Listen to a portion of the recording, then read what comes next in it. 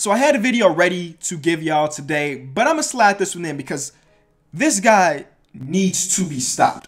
Now, I was watching the OKC versus Warrior game last night. A rivalry. It's become a rivalry now. You got the angry Russell Westbrook trying to get his revenge on Kevin Durant, who left him at OKC to go chase rings, right? First two games between these two uh, teams this season went well for OKC. They got two dubs. And I'm sitting back like, okay, can they get the third win on this team, on this great Golden State Warrior team? And if they did win, then the Warriors were on their first three-game losing streak since 2014. We're in for a great game. Now, while watching this game, this happened. Force that one up. Bodies falling on the floor. Here comes Curry. Play continues.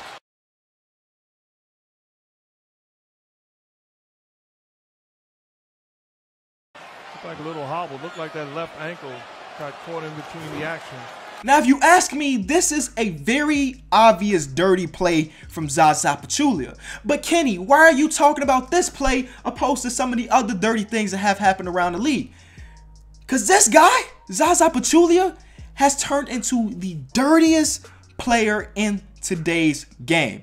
And I think he needs to be stopped. Now, 20, 30, 40 years ago, being a dirty player was normal. Actually, like every team in the league had their own version of Bill Laimbeer, a player that was put specifically on the court to use and abuse the other team so you can hurt them enough that you get some W's. But eventually, the, the NBA evolved to the point where like, you know what? We don't need to go out and tackle Michael Jordan to try to get him to lose. Let's just put together a better team and outwork him. And because of that, we don't have many dirty players in the league anymore. And for good reason. We don't want to see injuries happen to our best players. And this this right here could have easily ruined the rest of the, the Russell Westbrook season and OKC's chances of being something. By having a 7 foot, 250 pound dude fall on your leg could have easily ended terribly. You know what? It did end terribly for Kawhi Leonard. And Leonard gingerly getting up.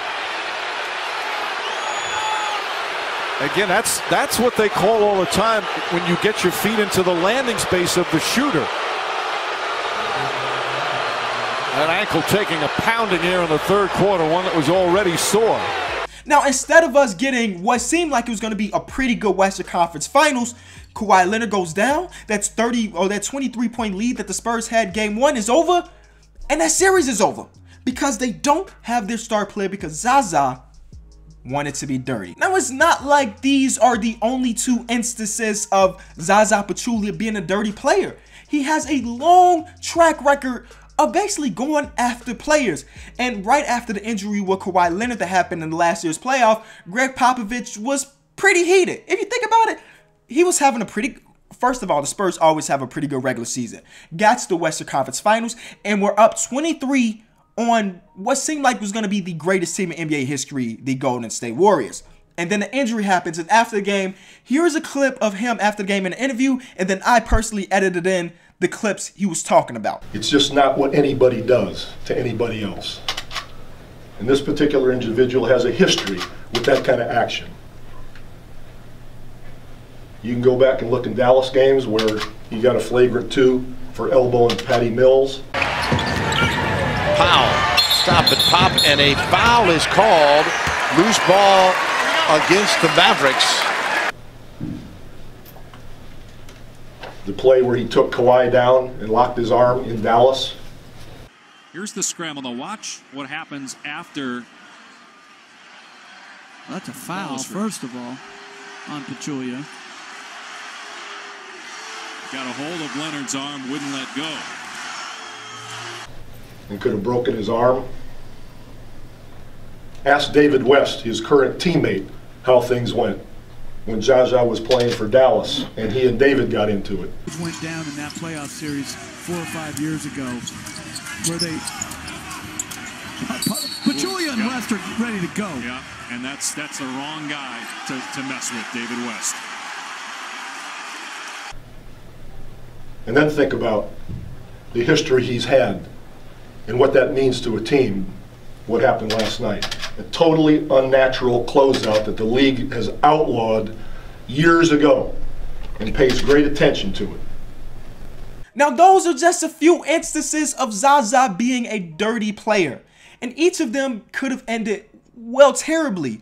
The first time Kawhi Leonard could have broke Kawhi Leonard's arm. Patty Mills, he got hit directly in the head.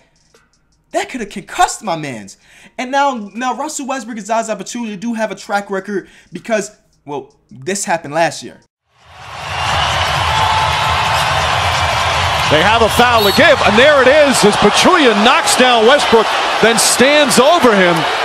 Now, I don't know why Zaza Pachulia want to be a Marvel villain looking over the people he's down, but that's what he wanted to do. Now, then you got Russell Westbrook going back in the interview saying that he was he would get his revenge, and maybe that led to Zaza doing what he did today. But nonetheless, this guy needs to be stopped. I hope that the NBA will step in. We shouldn't have to wait for another player to get injured before they start to do something about it. We were this close. We were this close. Do you see? Let's we'll play the clip again. Do you see how close he was to hitting the knee? It's bad. It's bad, and Zaza needs to be stopped. Now, how could he be stopped? I don't know. I, I put on Twitter, suspend Zaza. That's the only thing I can think about. That in his mind, he, he serves a suspension. He comes back and like, you know what? I actually want to get paid. Give him an unpaid suspension or something. Some people in my mentions like ban him. That I think that may be going a little too far, but still there something needs to be done about Zaza Pachulia being a dirty player. Again, we don't need that in today's league. We've already dealt with too many injuries this season. Boogie, Kristaps, Hayward, Jeremy Lin, Mike Conley, Jimmy Butler recently, Marcus Smart, even though Marcus Smart, he did that to himself. Just, it, it, the list goes on and on. And if you would have added a Russell Westbrook to this list,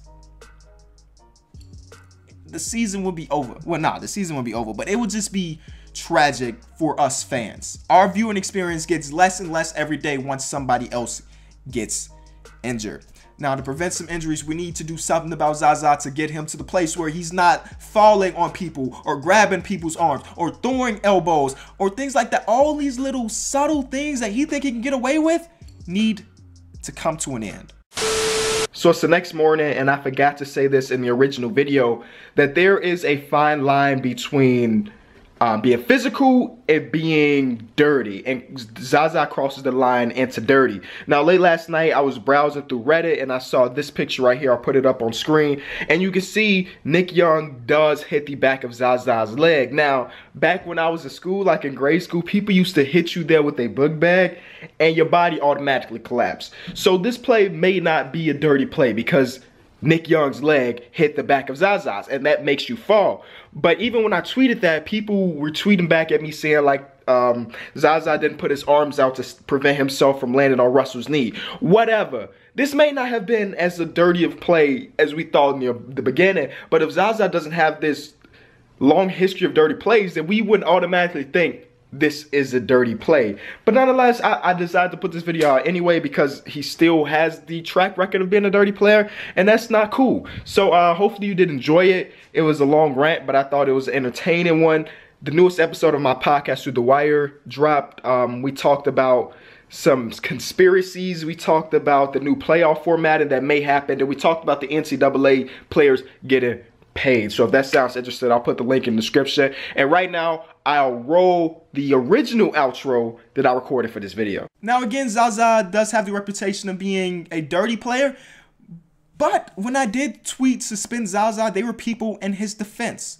So you may not agree with anything I said in this video, which is completely fine. Let me know what you think in the comment section below. One, do you think Zaza is a dirty player? Two, if you do think he's a dirty player, what can we do to remedy him being a dirty player? Because you think about it, I can't think of any other really dirty players in the league. You could say Draymond Green with the, the ball kicking stuff, but Draymond hasn't done it in a couple years. You know, they're they're not dirty players in the league anymore. Zaza is number one on that list. So what can we do to stop what Zaza's doing? Or if you don't think he's a dirty player, try to help me understand how that's not dirty. Because I that's blatantly dirty to me. Thank y'all so much. The video that I did have scheduled for today will just drop tomorrow. And it's about injuries. Yeah, believe it or not, we talk about injuries one more time. Thank y'all. Peace. My conspiracy is that he's doing what the reports said that Kyrie Irving would have done if he wasn't traded. Okay. You remember early in the season, there was something saying that um, Kawhi Leonard and the Spurs organization disagree on such and such. And they were like, nah, that's bad reporting, whatever. But Kyrie Irving came out and said, like, if the Cle- Cleveland Cavaliers don't trade me, I'm going to set out with a knee injury. Maybe Kawhi is like, you know what? I, like he could not be happy in that organization, and he's like, if since y'all don't want to deal me or we're not getting to a point where we agree on stuff, I'm just gonna sit. And the reason I say this, that this is a legit possibility,